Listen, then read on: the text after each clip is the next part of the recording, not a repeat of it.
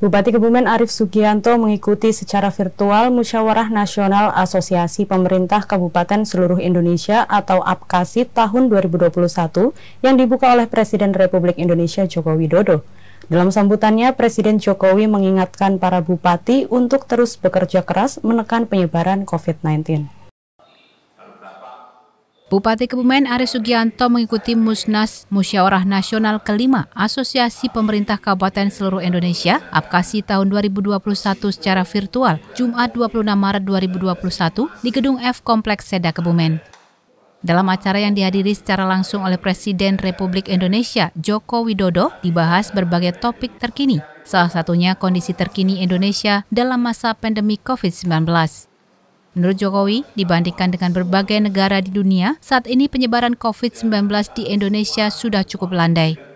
Meskipun demikian, pihaknya berharap pada pihak terkait, khususnya para bupati yang tergabung dalam APKASI, untuk tidak lengah dan terus bekerja keras dalam menekan laju penyebaran COVID-19 di wilayah kerjanya masing-masing, sehingga pandemi diharapkan dapat segera berakhir.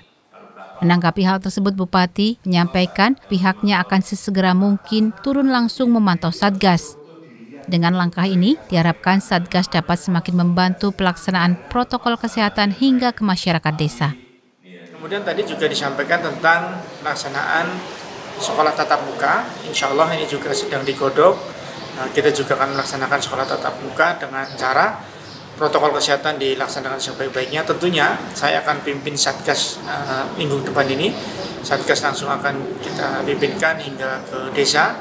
Tujuan yang pertama adalah Satgas dapat membantu pelaksanaan pengawasan protokol kesehatan di desa masing-masing, kemudian juga terhadap kegiatan-kegiatan masyarakat dalam hal misalkan hajatan ini juga uh, dapat dilaksanakan, tetapi dengan protokol kesehatan yang sangat terbatas tapi untuk kegiatan yang mengundang cukup ramai, ini belum kita buka sampai sekarang ini kita melihat trennya karena memang eh, angka kematian di Kabupaten Kebumen pun setiap hari masih ada seperti kemarin tiga, kemarinnya lagi satu, intinya masih ada eh, angka kematian bahwa menunjukkan COVID-19 ini cukup berbahaya.